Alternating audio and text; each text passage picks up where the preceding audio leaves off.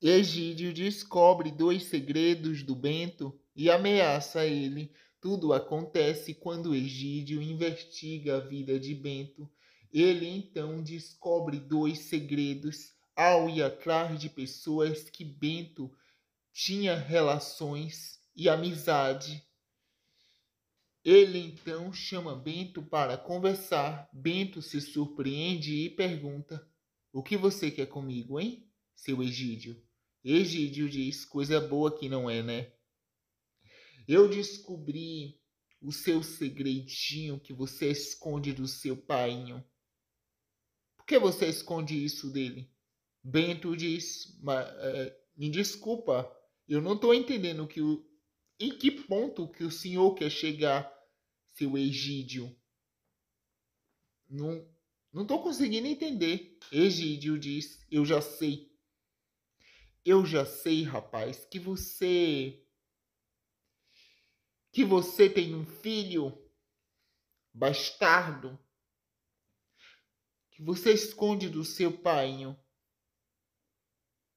Bento, nesse momento, fica assustado e diz: é, é, eu, eu, eu, eu não tenho filho, não. Eu acho que o senhor tá, tá botando coisa na cabeça.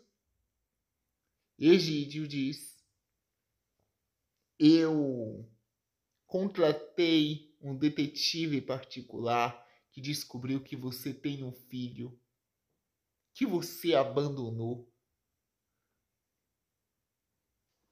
Por que você fez isso? Bento diz para não dividir a herança do meu painho. Eu não sou burro. Egídio fala: Hum, então foi por isso que você abandonou seu filho. Eu achava que eu era um monstro. Até conhecer você. Bento fala: O senhor não sabe de nada. Eu não fiz isso porque eu queria.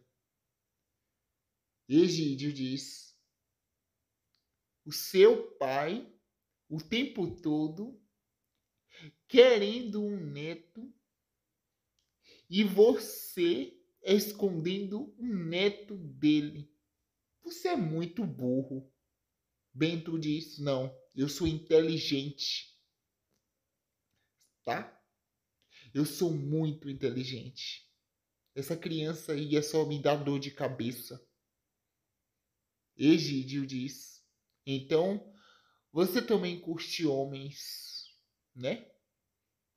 Bento diz: Não sei o que você está falando. Nesse momento, Egídio pega o celular e mostra a foto e diz: Eu fui atrás, o meu detetive foi atrás desse rapaz aqui. Bento pergunta: O que você quer? Egídio diz: Eu quero que você faça o seu painho acabar com o casamento da Sandra e do João Pedro.